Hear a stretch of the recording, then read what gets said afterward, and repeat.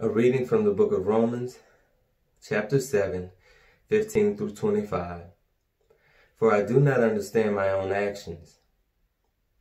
For I do not do what I want, but I do the very thing I hate. Now if I do what I do not want, I agree with the law that it is good. So now it is no longer I who do it, but the sin that dwells within me. For I know that nothing good dwells in me, that is, in my flesh. For I have the desire to do what is right, but not the ability to carry it out. For I do not do the good I want, but the evil I do not want is what I keep on doing. Now if I do what I do not want, it is no longer I who do it, but the sin that dwells within.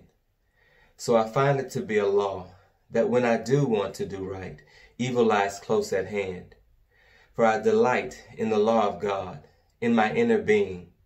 But I see in my members another law waging war against the law of my mind, and making me captive to the law of sin that dwells in my members. Wretched man that I am! Who will deliver me from this body of death? Thanks be to God, Jesus Christ our Lord. Amen.